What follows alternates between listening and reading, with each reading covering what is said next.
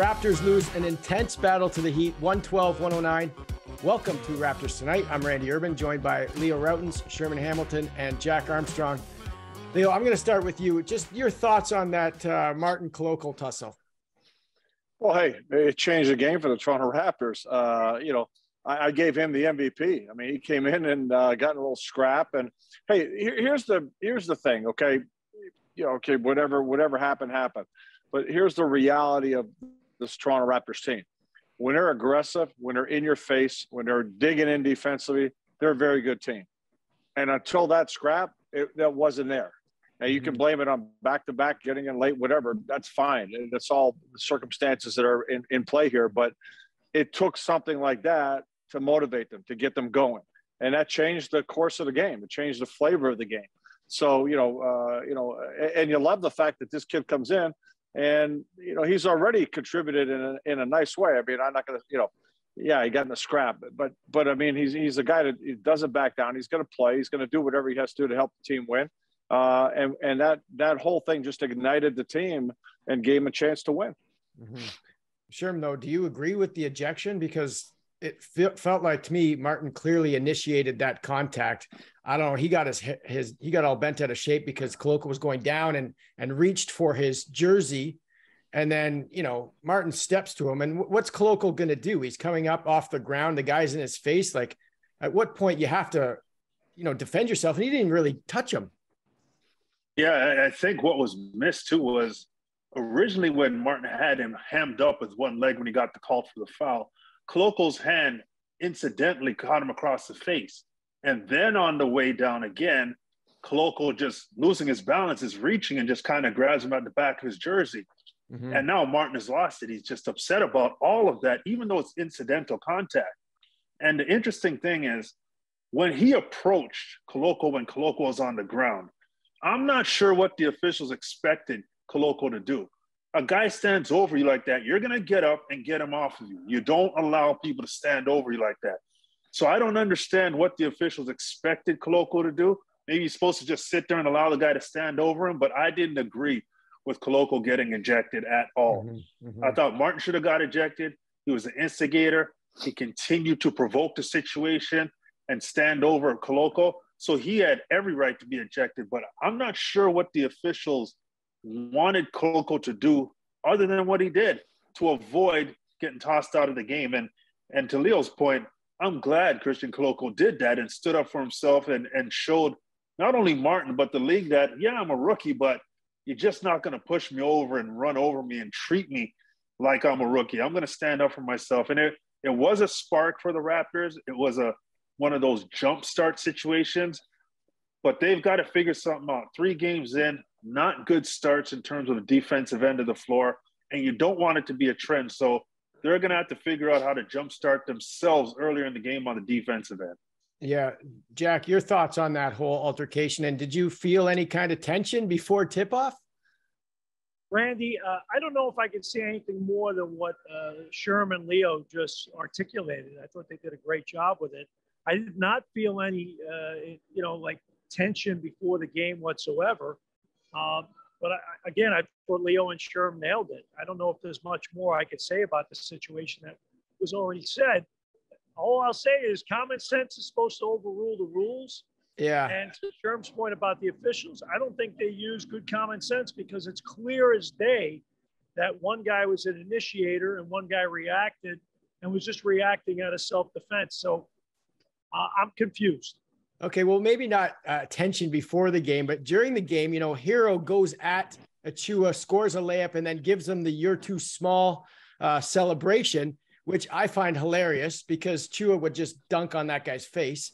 And I'm really getting sick of this, like "you're too small" celebrations. It's like it's irritating me. I don't know what it is, but that seemed to be the the the spark, in my opinion, that kind of uh, started the tension between these two teams. Well, think in today's NBA, you can get away with doing that because you're not allowed to whack a guy. Yeah. You know, if a guy did that many years ago and did that to you, you know, you uh, there'd be there'd be payback, there'd be justice. Yeah. But you're not allowed to do that anymore. So guys think they could take liberties and talk smack like that, embarrass guys because there's no uh, there's no circuit there's no Um, I, you, repercussions. word. Yeah, repercussions. Exactly. Yeah. So retribution me, is uh, gone. But I guess I guess on Monday night the scoreboard will be the uh, true teller. And I think uh, if the Raptors can build off of how they played down the stretch here in the second half, uh, I like their chances on Monday night. Leo, what would you do if somebody shorter than you gave you the uh, "you're too small" Selly?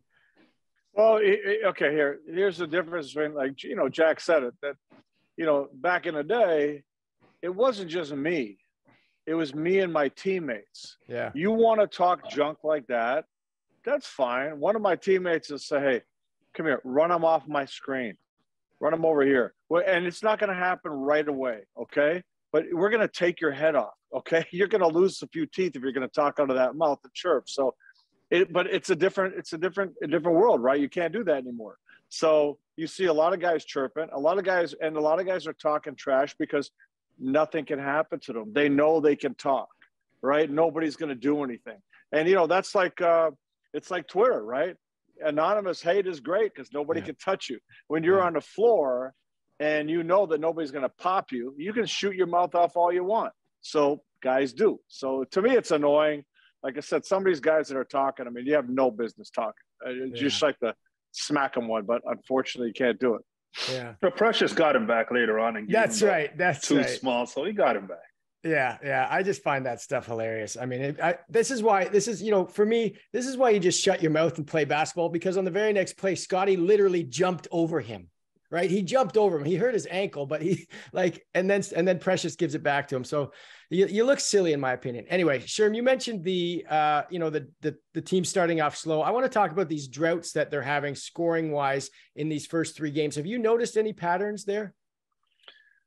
Uh foul trouble has been an issue. I mean, in yeah. this game, obviously Freddie and Pascal get those fouls in the first half and and that affects your rhythm. It affects the team's overall rhythm. Scotty gets banged up.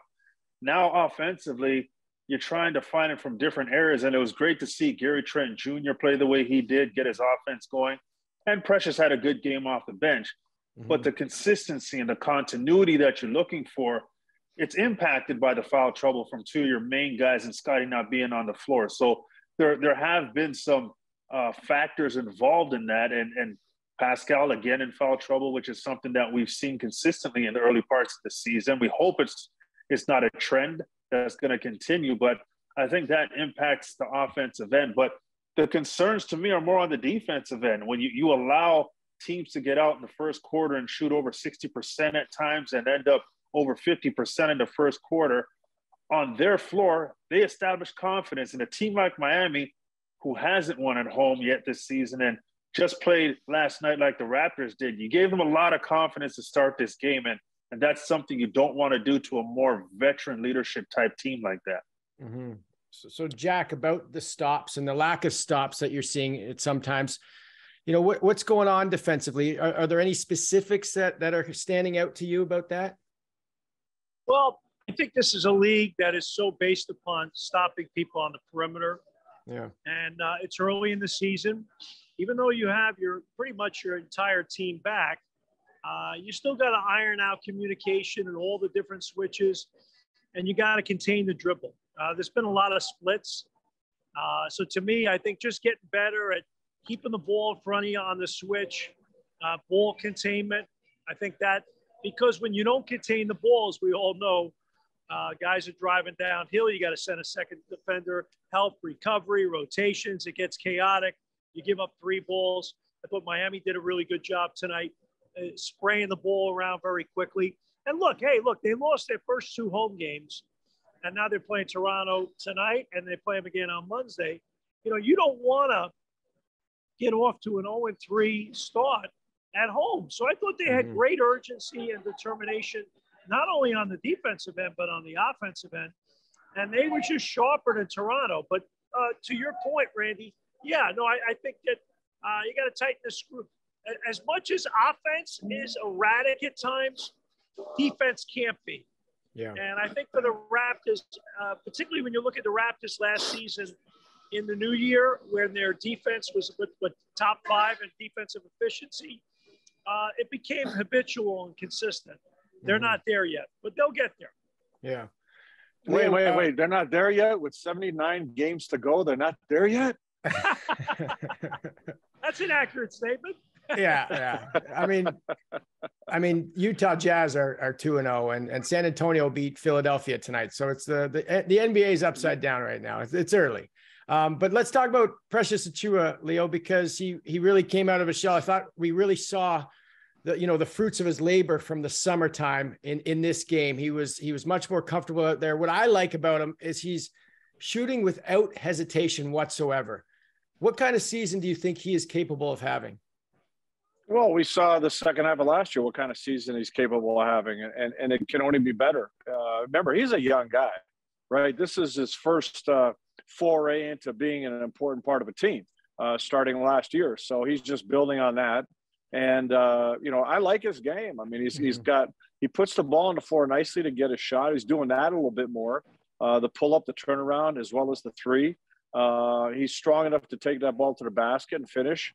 Uh, you'd never want to get away from that because, you know, with his first step, he can explode by people and finish. Uh, and then just just be a physical presence at, at both ends of the floor. So you know, I really like his, I really like what he can do. Uh, and the whole thing right now, just like with anybody else, it's just being consistent and doing it every single night. Mm-hmm. Sherm, were you uh, much of a trash talker when you played?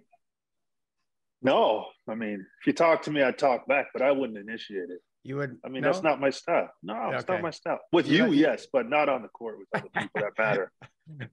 Leo, did you say anything? I was uh, I was like Sherm. If uh, I wasn't going to start it, but if you started it, I'd have no problem finishing it. All right. What about you, Jack, on the coaching on the coaching sidelines? You you get animated at, at players. I know well, when I'm coaching, uh, I, I, get yeah. I get heated. Very salty language. Let's just say that. Okay. All right.